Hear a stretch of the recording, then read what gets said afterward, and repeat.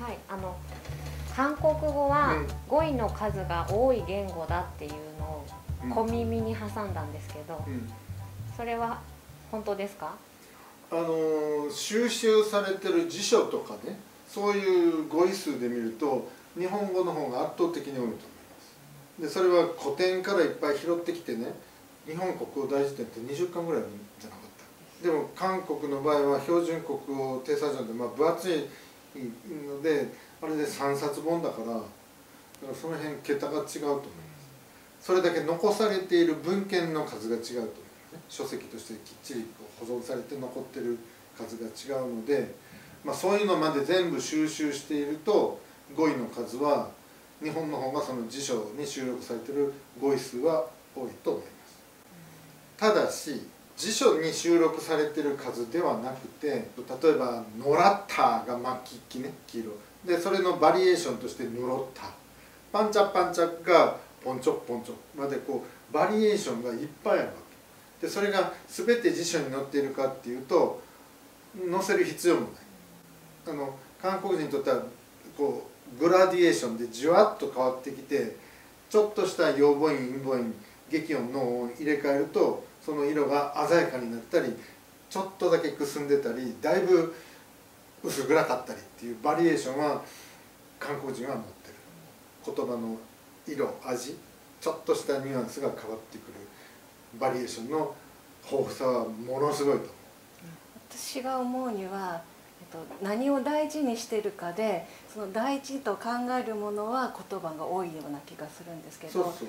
例えばこの自分より目上の人の言い方ってものすごい、うん。ここまで分けなくていいんじゃないのって三チョンなのかうんチャグナ文字なのか別にどっちでもいいじゃんとか思いますけど、うん。だけどあのじ実際にじゃあ「老い」って言いたかったら「チョカードル」うん。とか何かつけないと表現できなかったりするじゃないですか、うん。妹弟ですら区別しないそうですよね。だから、うん。その辺の感覚の違いでなんとなく語彙が多い感じがするっていうのもあるのかなって。英語とかと比べるとどうですか、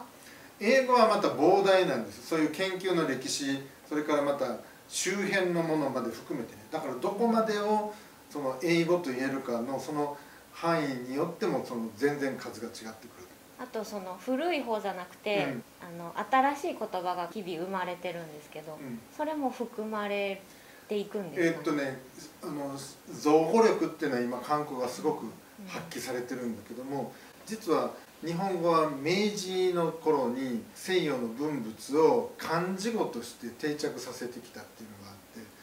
それが我々心臓語として感じずに作られてるんだろうなっていうん、ただ韓国語の、えー造語力は今すごく面白い方向で発揮されてると。漢字語プラス純韓国語プラス英語みたいなね。はい。そんなことも平気でこうこの頭文字だけ取って組み合わせるみたいなことはやってますよね。で一時的なもので消えていくものが大多数だろうと思うけれども残るものもある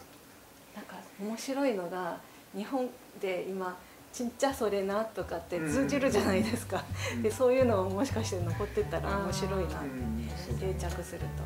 だからまあ客観的な語彙の数っていうことになると何かデータを使ったりすると日本語の方が多いだろうとは思う。